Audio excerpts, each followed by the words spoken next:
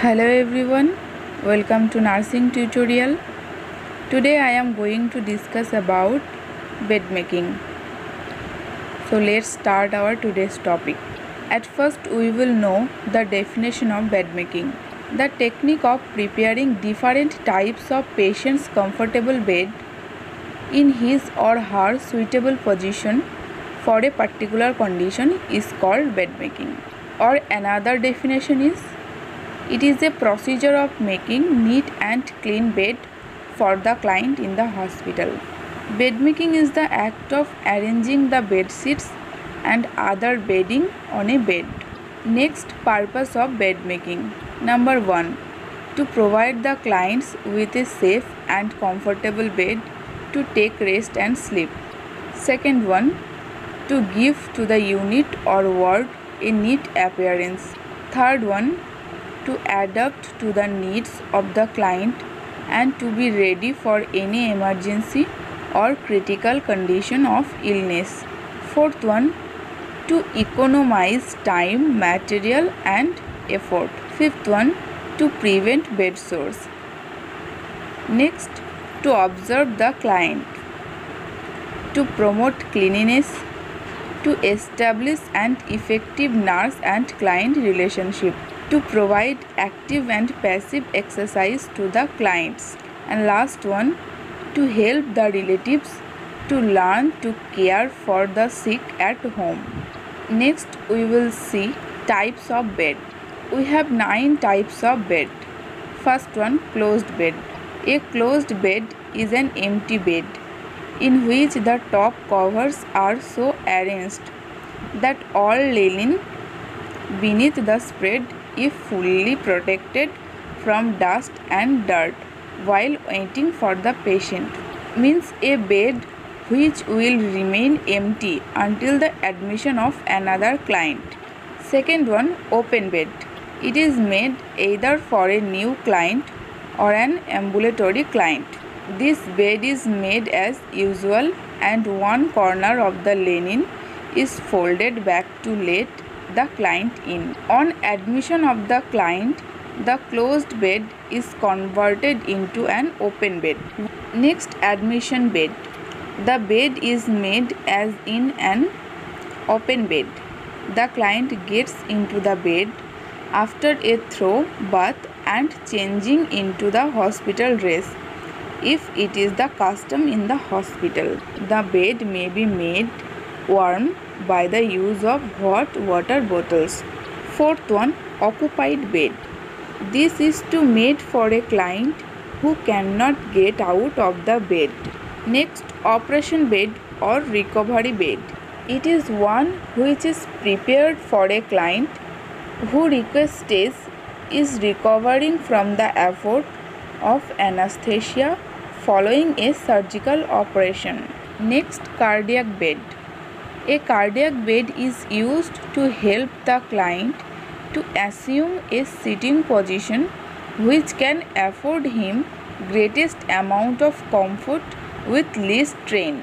The main purpose of the cardiac bed is to relieve dyspnea, means breathing difficulty. Next, fracture bed.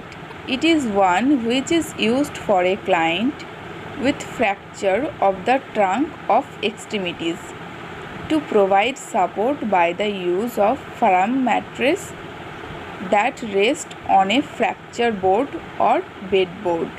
The fracture bed is same as in an open bed in addition to the fracture boards. Next amputation bed or divided bed.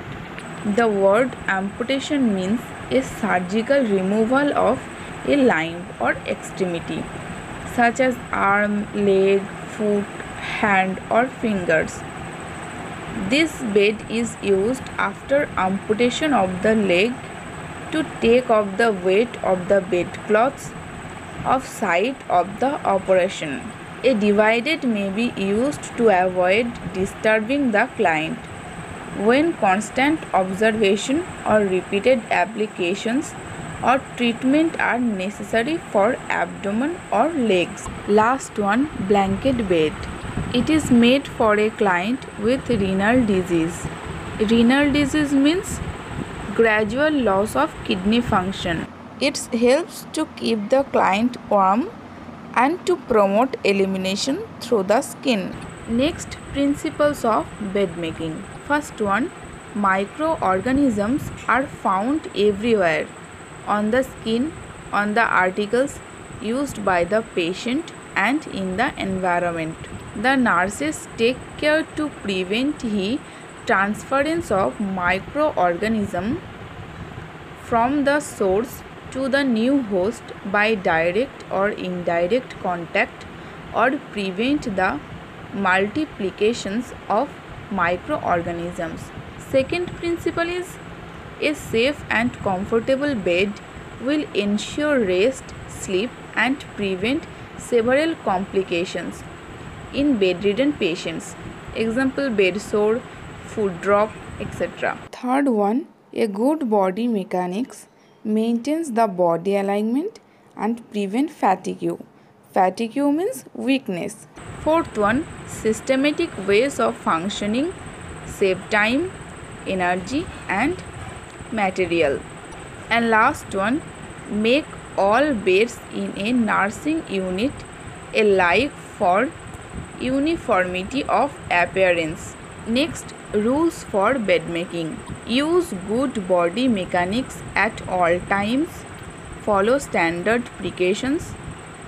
Always wash your hands before handling clean linen and after handling dirty linen. Bring enough linen into the client's room. And last one always keep clean linen covered. Next general instructions for bed making. First one wash hands before and after the procedure. Second one do not expose the client unnecessarily. Third one protect the client from dirt. Fourth one do not cover the client's face while placing the linen Fifth one, do not mix clean linen with soiled linen. Next, shake the linen gently.